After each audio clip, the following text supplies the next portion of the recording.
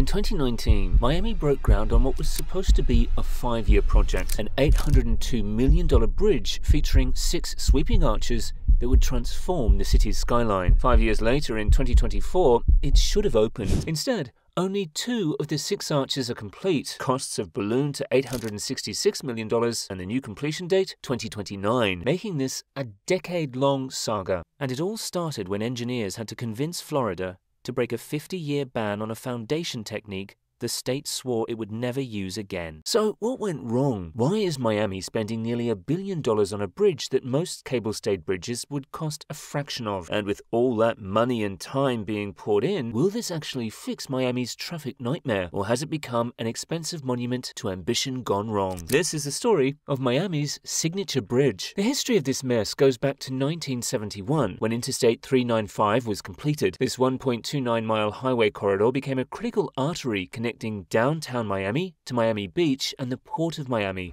quickly handling over 450,000 vehicles through the Midtown Interchange every day. The problem? I 395 was built with only two lanes in each direction, barely adequate when it opened and hopelessly inadequate within a decade. By the 1990s, the corridor was chronically gridlocked. By 2025, those same two lanes remain overwhelmed, causing constant traffic jams and long delays for the half million vehicles that depend on this route daily. By the early 2000s, I 395's aging infrastructure compounded these problems. The highway was falling apart and the traffic was unbearable. In 2010, the Florida Department of Transportation finally announced a major reconstruction project, not just to fix the traffic, but to attempt to undo some of the historic damage and reconnect the neighborhoods that had been torn apart. FDOT could have simply widened I 395, added lanes, and called it a day. That would have been cheaper and faster. But the authorities saw an opportunity to do something more ambitious. Instead of just building a functional highway, they decided to create an iconic landmark, something that could become a symbol of Miami's transformation and economic viability. In 2015, they hired renowned Donald MacDonald Architects,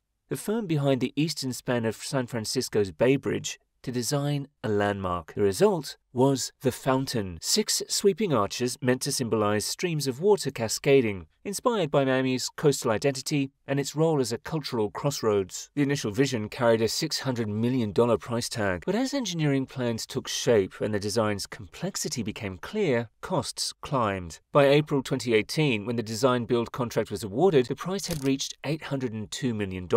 But before construction could begin, MacDonald and the engineering team had to answer a critical question. How do you actually build this thing? The fountain wasn't just an artistic vision, it was an engineering puzzle. Every decision, from the number of arches to the construction materials, had to balance aesthetics, structural integrity, and the brutal reality of building over one of Miami's busiest corridors. The design team spent years working through the challenges. Here's what they decided. Why six arches? Miami's signature bridge uses a cable stayed design with six arches rather than the typical one or two, and there's a structural reason for that. First, it's practical. The bridge must span 1,025 feet across two busy roadways, NE 2nd Avenue and Biscayne Boulevard, while keeping traffic flowing during construction. The solution? Build it in phases. Four arches supporting the westbound roadway, constructed first and open to traffic, then two arches for the eastbound side, completed second. Second, it's structural. The six arches vary dramatically in size and geometry. Spans range from 300 to 650 feet,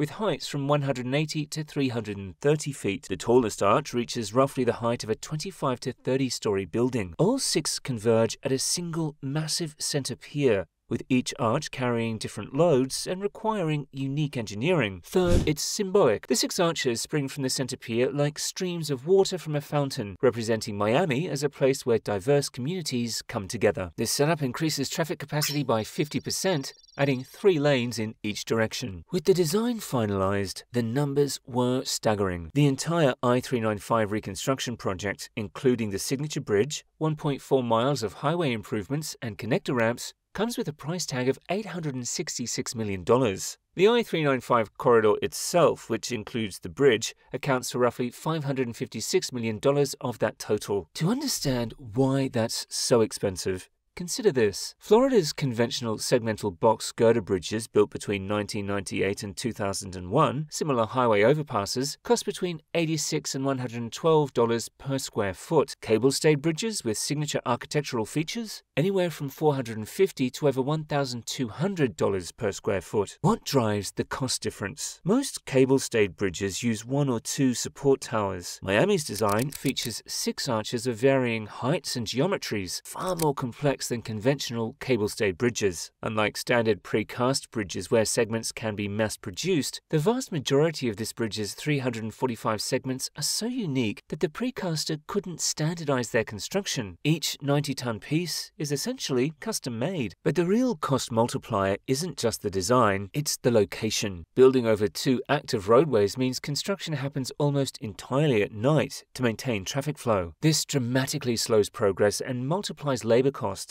Add uh, the COVID 19 pandemic, supply chain disruptions causing 36 week waits for custom components, and Miami's hurricane season forcing regular shutdowns, and you understand why costs have climbed from the original $600 million estimate in 2015 to $866 million today. With the design finalized and the contract awarded, construction officially began in April 2019, targeting a fall 2024 completion. But before engineers could start constructing the massive arches, they had to deal with the soil beneath Miami, which couldn't support the bridge's massive weight using only Florida's standard driven concrete piles. These piles have been FDOT's preferred foundation method for highway projects for over 50 years, but they simply weren't strong enough for this project's extreme loads. After extensive analysis, the engineers proposed using a technique called auger cast piles. This method works by drilling a hollow stem auger into the ground to the required depth, then pumping high strength concrete through the hollow shaft as the auger is slowly withdrawn, creating a continuous pile without ever leaving an open hole. The result is a stronger, more stable foundation than traditional driven piles. However, there was a problem. Due to a bad experience with a subcontractor over 40 years earlier, the Florida DOT had been reluctant to approve auger cast piles for any of their projects. After multiple discussions with Keller,